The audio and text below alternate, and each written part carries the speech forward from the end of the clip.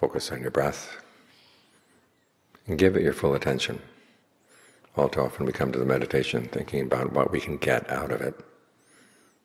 But we have to remember that the Buddha's teachings start with generosity. It's a question of what you give. It's in giving that you gain a sense of your worth as a person, whether it's material things or giving your time, giving your energy, sharing your knowledge, giving forgiveness. These activities lift the mind. You realize you're not here just a weight on the world. You actually have something to offer. The energy of the mind that's willing to give. It sees that you don't sit around and just wait for good things to come. You have a potential for goodness inside and you want to express that. And in expressing it, you strengthen it. You strengthen the impulse and you also strengthen the mind.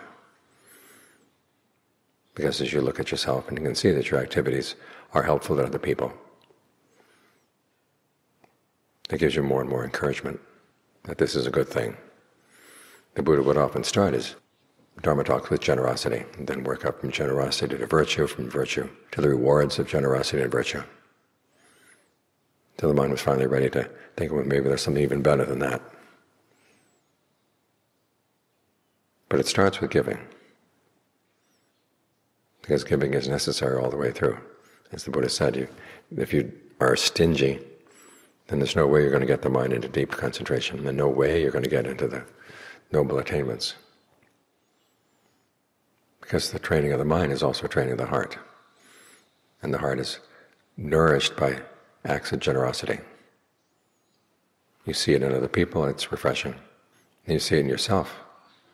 As I said, gives you a sense of your self-worth. So always look for opportunities to give.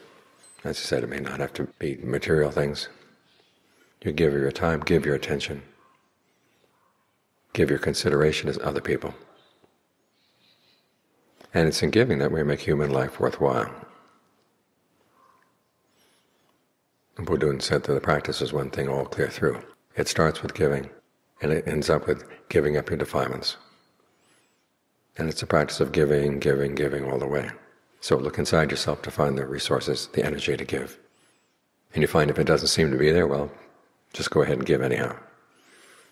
And the act of giving will bring its own energy with you, for you.